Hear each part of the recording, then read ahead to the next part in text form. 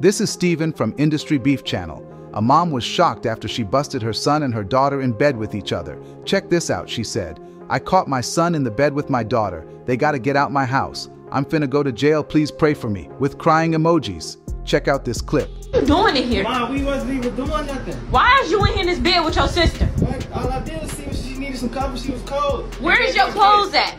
Huh? Where your clothes at? My at? clothes in the room, in my room. Stop playing with me. Get out. We wasn't even Get get up and get get out and get out now. We wasn't even doing nothing. What was you in here doing? Why are you? What was you just in here doing? What was y'all just in here doing? Nothing. You next. I'm not playing, little girl. You next.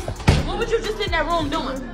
Well, yeah. Cause why are you not in your room? Why is you laid up in there with your sister? I'm confused. Why are you in there laid up with your sister?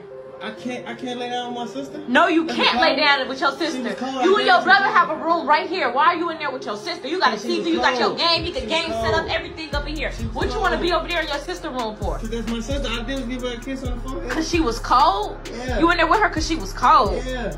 You, you what? And then where's your? You don't even walk around the house. The house is cold. Where's your shirt at? I took it off, mom. I was You wasn't finna- doing I- I My finna call y'all wasn't dad. These kids at.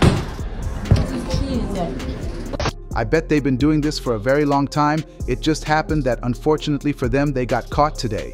I'm trying to find out if the daughter and the son is from same father.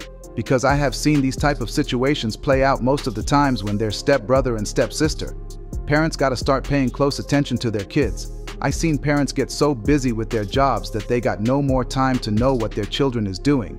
Although I don't want to blame it all on the mom, because some kids are bad eggs for real. This is just an awful day for a parent to behold.